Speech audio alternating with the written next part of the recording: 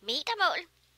Ved du hvad, jeg har gået og tænkt på dengang, at vi rejste op til dit land Danmark, hvor du fortalte mig om årstiderne.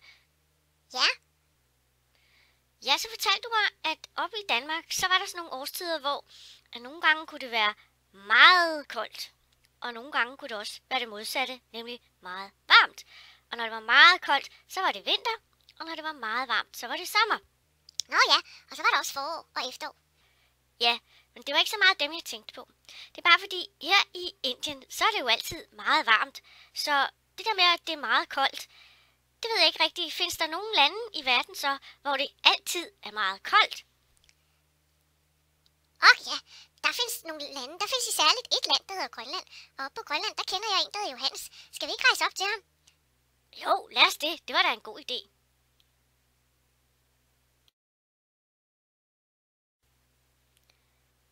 Ej, hvad, hvor er det sjovt. Så skal vi ud på sådan en kælk. Nej, nej, nej, det hedder en hundeslæde. Nå, men det er vel næsten ligesom en kælk. Jo, jo, men en hundeslæde, den bruger man ikke så meget til at lege med. Den bruger man til at gå på jagt. Og nu skal vi med Johannes ud og gå på jagt. Og når man er ude og gå på jagt, så kan man for eksempel være heldig at møde nogle valrosser. De kan godt lide at ligge på nogle isflager. De svømmer nemlig rundt ude i vandet. Og hvis man er helt op på Nordgrønland, så kan man også møde en isbjørn. Men dem må man ikke slå ihjel. De er nemlig fredet. Og isbjørn, de kan også være farlige. Særligt hvis de lige har fået nogle isbjørneunger, så skal man være rigtig meget forsigtig. Men sæler og fisk, dem må man gerne fange. Så øh, sælerne, dem, øh, dem spiser man op på Grønland. Det kan man rigtig godt lide. Men nogle gange så spiser man dem rå, og nogle gange så koger man dem. Og fisk, det spiser man også rigtig meget op på Grønland. Når man er 12 år op på Grønland, så er det, man må få lov at komme med på jagt og skyde sin første sæl. Så øh, man lærer også at skyde med et gevær. Det må man ikke i Danmark. Og som jeg fortalte dig, så fisker de også rigtig meget op på Grønland.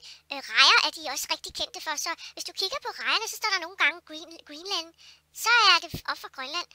Så op på Grønland, der elsker de også rigtig meget fisk.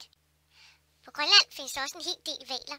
Der findes også en val, der hedder narvalen. Det er ikke den her. Den har sådan en ordentlig spyd lige i tuden. Og hunde, hundene, som kører hundeslæden, de bor nord for polarcirklen, som det hedder. Og så hvis man skal til Grønland og har en hund, så må man ikke få sin egen hund med nord for polarcirklen, for der må kun være hundeslædehunden. Ej, hvor var det altså spændende, alt det du fortalte mig om Grønland. Er jeg glad for at få at vide, at der faktisk findes et land, der er stik modsat af Indien, at der altid er meget, meget koldt. Kan de så godt lide at være deroppe? Ja, de elsker at være deroppe. Så, nu fik du lige historien om Grønland. Og jeg synes lige, du skulle se, at jeg faktisk har noget tøj fra Grønland, der er sådan en nationaldragt.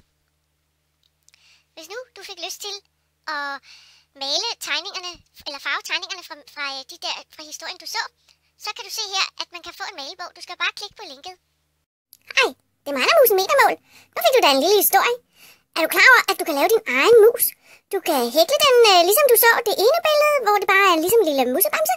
Eller du kan hækle den ligesom sådan en hånddog, ligesom jeg er. Du skal bare klikke på linket, så finder du opskriften til det. Hej hej.